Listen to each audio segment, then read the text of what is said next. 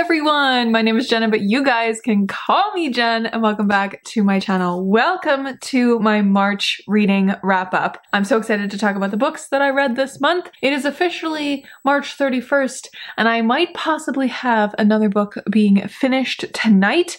We shall see, but I'll get there when I get there. So, in the month of March, let's just dive in. How many books did I read? So far, I have read 12 books. No, that is a lie. 13. I just haven't filled this out properly.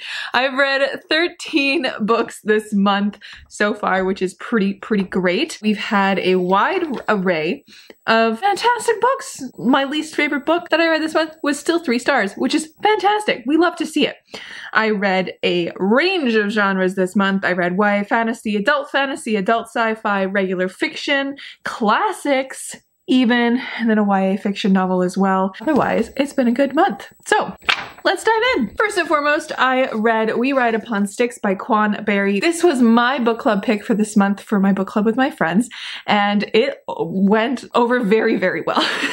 All of us pretty much loved it, so I'm, I'm happy with that. And it was great conversation, and it was really interesting to discuss the narrative style in this and the implications of this of this text. I ended up giving this four stars. Really enjoyed this. It has such such an interesting narrative style. So this follows a high school girls field hockey team in their senior year when they decide to dabble in some darker powers to try and win. That's basically it. it this book does such a fabulous job in, in just portraying teenagehood and the 80s.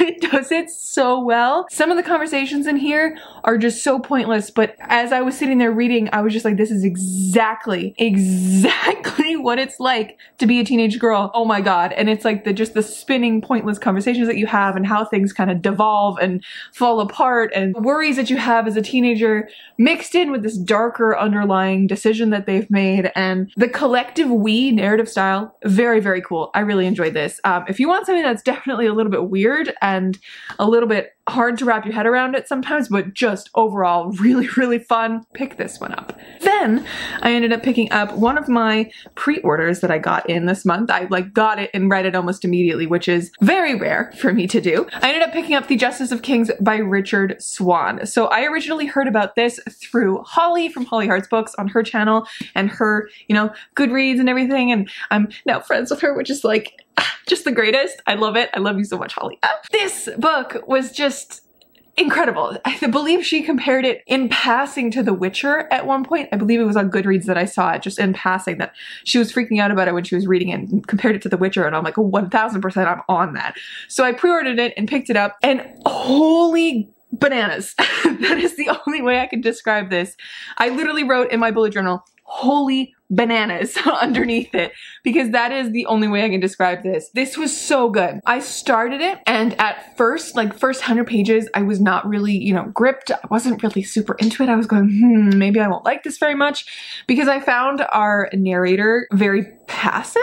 It took me multiple chapters to even realize that we were in first person narration and we had a narrator at all. I thought it was third person because we were focused so fully on the justice in here and in his life. But I came to really, really enjoy our, our narrator and her story as well because it's such an interesting way to really paint a book. So this follows Vonvalt, the justice, and Helena, his apprentice, and our, our narrator is Helena. And it follows them as they, them and like the justice is like other helper person. He's like the muscle, I guess, the bodyguard essentially, as they're kind of going around the empire, around the realm. The justice is meeting out justice in the name of the emperor. And at the beginning of this, they are in a slightly smaller town. They haven't been back to the capital in about two years. They've been going around and Helena has been training essentially to become a justice. But when they're in the small town, they stumble upon a murder. The murder of a high lady and High Lady, I say that because I don't remember her title, but a lady of standing in the community. They are then tasked with finding out what happened to her and they get looped into this mystery. This wasn't really what I was expecting because having heard it compared to The Witcher, I was expecting it to be more of a like traditional fantasy world with like monsters and like medieval layers of stuff, but this was actually quite urban. We had lots of like cities and counselors and politics. It felt a little bit more like the cities and like kingdoms and, and intricate political things that you would see in something like Lord of the Rings. Like, you know, those like the cities that they go to in Lord of the Rings along their way. It felt a little bit more like that level of fantasy in there. So it still has the high fantasy feel, but it was like, it, I don't know, it just felt more urban to me, which I wasn't expecting. And then we had some of the most brutal fight scenes I have ever come across in my entire friggin' life. Like, it's just, there's a battle at the end of this and there's an image of a lady, not spoilery at all. There's just an image of a woman who's had her face half sheared off by a blade and she's just walking around senseless to the just horror around her. And I just, I, that image has stuck with me until this day and uh, it will stick with me forever. There are some images in these brutal fantasy books. I can think of one from Shadow of the Gods from when I read it in December that have just stuck with me because they are so visceral and so well done and it's just this moment of like, oh my god, and it just sticks with you. That is what this book has done and I just, it was so good. I ended up giving this one four and a half stars, if I haven't said that already. It was just so, so good and the question of morality and what exactly falls into the law and whether these people of really high standing like a judge or justice in this whether they are above the law or not. Do they essentially make the law and where is the line? So it's very interesting and i'm so excited to see the absolute derailment of the character of Vonvalt after this. Anyways, next up, I actually borrowed this book from the library, but then ended up buying it from a discount store because I found it for like $7. It was pretty great. But that is Seven Devils by Elizabeth May and Laura Lam. So this is just, gosh, this is a year where the sci-fi books that I read are just knocking it out of the park every time I read them. So I read this going in knowing that we have some LGBTQIA plus characters and it's fun and spacey. That's literally all I went in knowing. I came out with a deep love for every single one of these characters. I really enjoyed this. I ended up giving this four stars, but like probably on reread it would be even better. And I'm so excited to read the sequel whenever I can get my hands on it because I just, I loved it so much. It is found family. It is space heist. It is people on the run. It is people who can change their face and change their name and run from who they are. It's space royalty. It is so good. and I, I just really enjoyed it. When I first picked it up, I knew immediately, like first, first few pages, first few chapters, I was like, I'm in 1000%. This is just so fantastic. We follow mainly our characters, Eris and Chloe. They're the ones that start the book, so I would say that they're probably our main characters. But then we end up meeting a bunch of other people. So we get mostly their backstories and stuff because in this, it's formatted in a way where you get like present day narratives and then in their past narratives. So at the beginning of this, I didn't really love how much backstory we were getting in moments. I was like, I just want the story now. But by the time I finished it, I was like, you know what? No, we needed those backstory moments because we needed to know who these people were and where they like got to in the moment of this. All right. So we also follow Nyx, this awesome, you know, just absolutely badass woman. And we follow Ariadne and Rhea. So those three as well come into this and they all end up being part of this, you know, family. I loved this. I loved the mission that they were on. I loved how intricate it got. I loved the different points of view we got from each of these characters and how different they felt. Because I find sometimes with lots of points of view,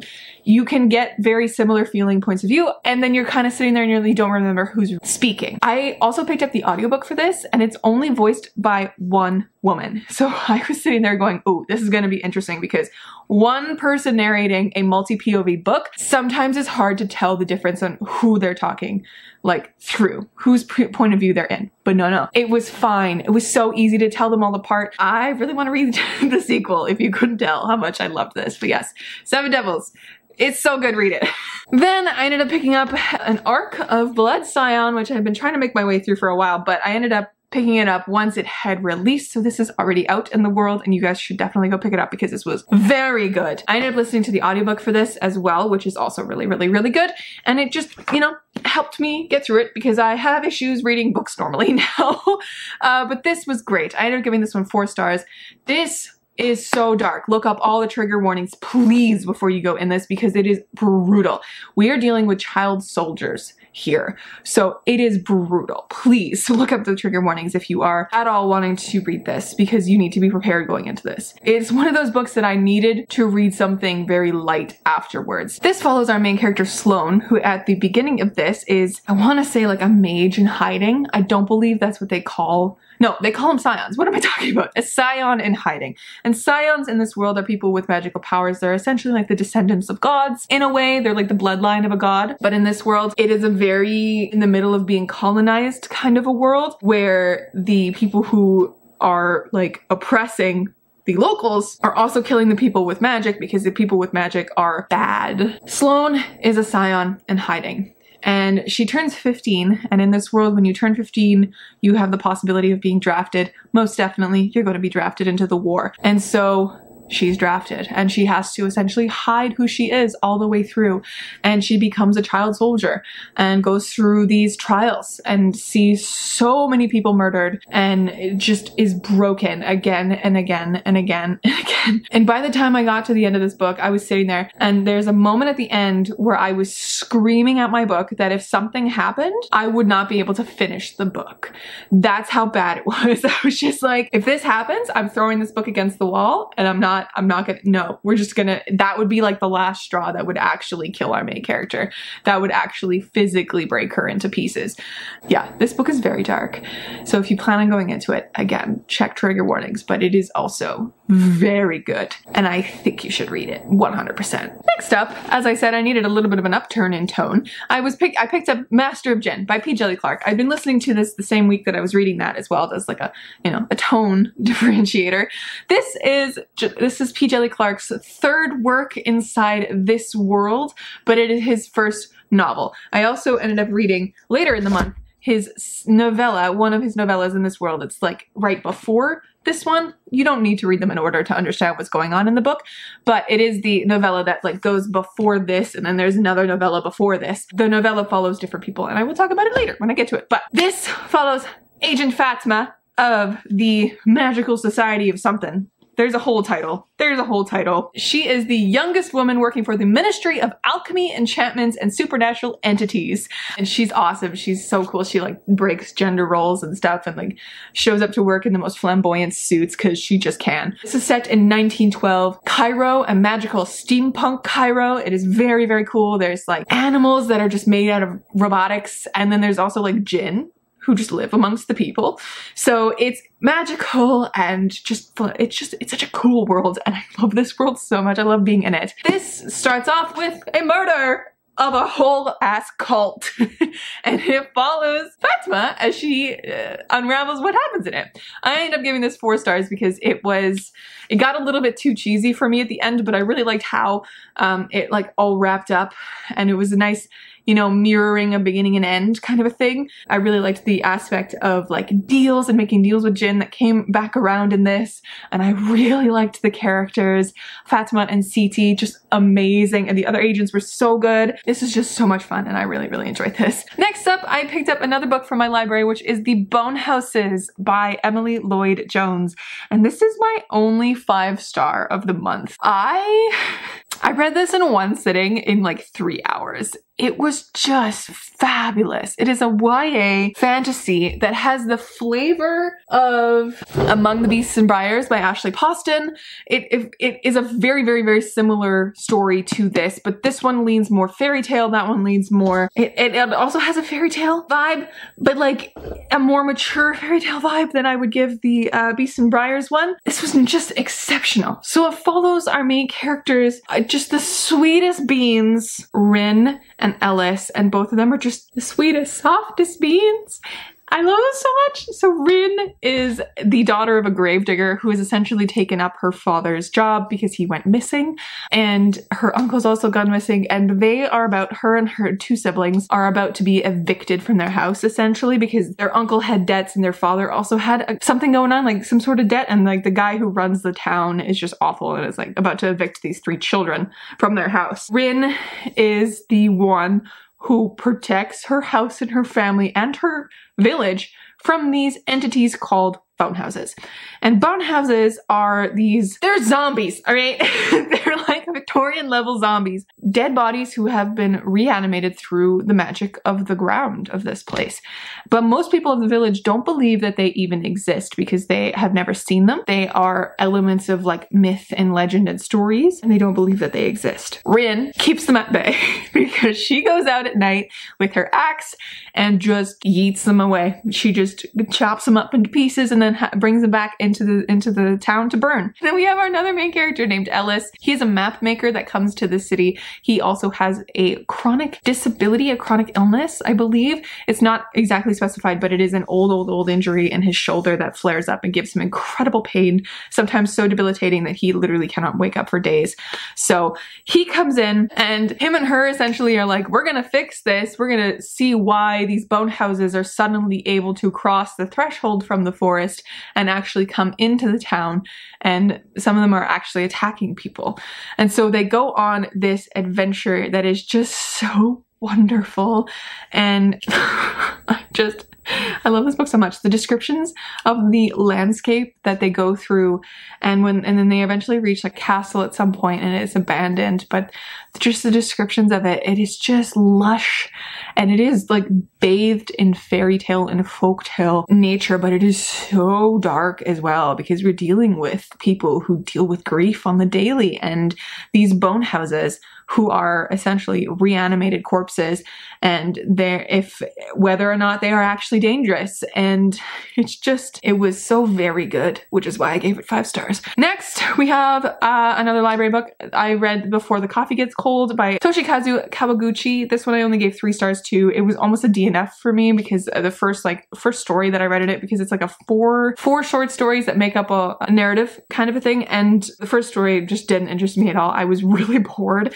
and I was pretty bored throughout the entire thing, but it, by the end, it did get me a little, and it was very easy to read. I read it in like two hours, kind of a thing, not even. It was fine. It's It follows a coffee shop that you can travel back in time to. There's there's rules and there's all this all this stipulation and stuff that like nothing will actually change, but you can go back in time to see something if you so desire. It's an interesting concept. I just didn't really love it very much. Then I read one for All by Lillie Lainoff, which is a gender bent Three Musketeers retelling that has a main character with a disability, which is POTS. This book was just fantastic. I gave this four and a half stars. It was so, so, so good. Very good. It, historical fiction. The fan family in this was epic. This was a month of like fan family. With this and Seven Devils, just incredible. I just, I loved this so much. So it follows Tania, who at the beginning of this story loses her father in a very brutal way, and she decides to set out and uh, exact revenge on who killed her father. But she is then sent to a finishing school, which turns out to be an actually a fencing school to prepare young girls to become musketeers. And so she joins this school and she meets three other girls there who are just the best, and the four of them create just this wonderful family together and it just heartwarming and the adventure was wonderful. Fabulous historical YA book. Just really, really, really good. It ran out of storage, so I had to clear some stuff off my camera, but okay, we're back. We're ready to go. We are back. Next up, I realized I said at the beginning of this video that I had only one, or not beginning of this video, when I was talking about the bone houses, that that was my only five star. I lied. This was also a five star because it's Pride and Prejudice. it is just so good. It, it, was a reread, fourth time through. I've been on a Jane Austen kick recently because I've been watching a podcast called Pod and Prejudice that I just absolutely love. Did I say watching? I meant listening to a podcast that I just really, really love. It's got me on a Jane Austen kick, so I decided to reread Pride and Prejudice, which was just so fantastic. And of course it's five stars because I love this book so much. You guys know Pride and Prejudice, Elizabeth, Dar- Elizabeth and Darcy. You know the story of Pride and Prejudice. I don't need to give you a recap of that. But yeah, I also read that this month. Then I read another exceptional fantasy book, and that is Scorpica by G.R. Macallister. This was just so good. I ended up giving this one four and a half stars. I just really fell in love with this. So this is a book that follows a period of I think of like 10 to 15 years through this queendom. And the queendom, I believe, has an actual name. Let me grab it. Does it not have an actual name? Oh, I'm pretty sure it does. Uh, it doesn't say though. Hmm. But it follows this queendom, and we have Scorpica and Paxim and Cestia and Arca, and then the Bastion and all of the stuff in between. It follows this the, the queendom as it goes through essentially what is the drought of girls. So in this world, women rule all, they are the be all and end all. Sort of at the beginning of this, we have the drought of girls, which means that no girls are being born. And it's it's just like the catalyst of all these events in here. We follow many different points of view in this. We follow an ancient sorceress back from the dead. We follow uh, the Scorpicae, which are warriors, like Spartan-esque warriors. We follow a mom and a daughter from Arca, who both have magic. We follow a band of thieves, and we also follow a queen and her daughter as well. but just the mapping of this world over these years and the events that happen in it is just so wonderful. And I do have to say that I feel like this book could be a new favorite of mine. This whole series, once it comes out, is going to be a new favorite of mine. I can feel it. The way that this sets up the world and all of these people into motion, we have some unfinished storylines, some unfinished threads, which I really, really hope come back in the next few books because I'm just, there's so many characters in this that I want the best for, and they're just so wonderful. It's just so wonderful. And the pacing of this is very, very good. But with each of the storylines, you don't really know like what kind of the point of this is. It's mostly a revolving around the catalyst of being in the drought of girls. It just follows these people as their lives are going through that. And it's just, it's very interesting. It's not slice of life. It's almost, it's, I would call it almost an epic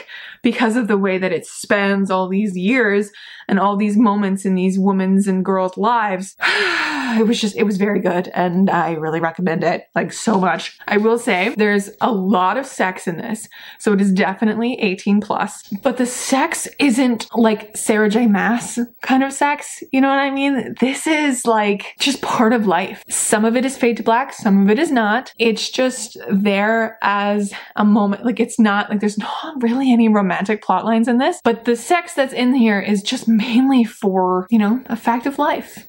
It's for the pleasure of these women. It's just there, which I really liked that. Like, I was shocked when I first started to read it that how much it was, like from page one, very clear about how much sex and pleasure had a point in these women's lives, but it wasn't the point of the book. I, this was just very good. if you couldn't tell how much I love this, so many of these books that I read this month absolutely just knocked it out of the park. I'm gonna put this down and stop talking about it because it's just that fantastic. But the next book that I read was The Haunting of Tramcar 015, which is the book that I was talking about earlier with The Master of Djinn. This is the second book in that world. This is the second novella as well. This follows two different agents though. It doesn't follow Agent Fatma, it follows Agent Hamed and Agent Onsi as they discover the haunting of Tramcar 015. And that's all I'm gonna give you because it's a novella. It's very good and I really enjoyed where it went. P. Djeli Clark just has a way of giving us such wonderful little concise stories and paints us such beautiful, beautiful characters. Like so good, so good. Then I ended up picking up the novella The Ballad of Black Tom by Victor Lavallee or Laval. Don't know how to say his last name, but whew, this was something. This was something. Oh, by the way, also gave this one four stars. But I gave The Ballad of Black Tom as well four stars. It was so interesting to me. It definitely has H.G. Wells' Call of Cthulhu guy. and I call myself an English major. I think that's him.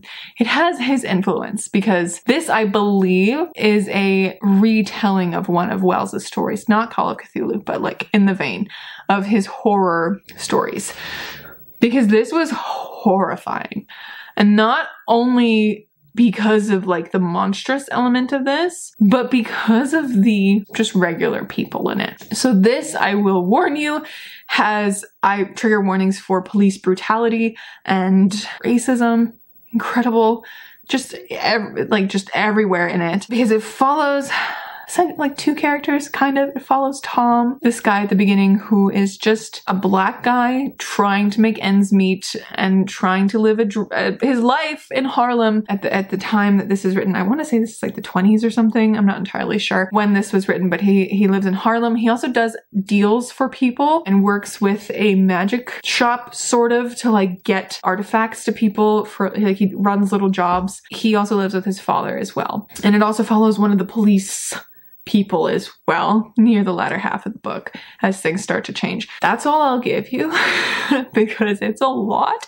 And I went in blind. I was just like, okay, cool. This is like, I know this is has like a dash of horror, might even have a dash of, of fantasy. I went in blind and I was so glad that I did. I listened to this on audio and it was just wild. It's the last one that I finished last night, which I didn't expect to finish last night. And it is my friend's book club pick for this month. But I still don't know how to feel about this book.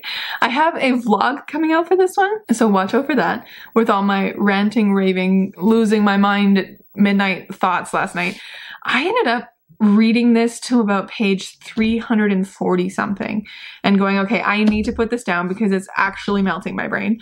And I, I won't be able to sleep properly if I don't put it down. Within 10 minutes, I had it back in my hand and I finished it because I couldn't stop thinking about it. That is House of Leaves by Mark Z. Danielewski. Now, this is not, I wouldn't say this is a good book.